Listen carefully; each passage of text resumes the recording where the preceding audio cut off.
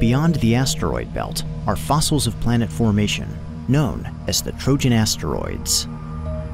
These primitive bodies share Jupiter's orbit in two vast swarms, leading and trailing the planet. Now, NASA is preparing to visit seven asteroids. Embarking on a 12-year odyssey that will span Jupiter's orbit. One mission will explore these objects for the first time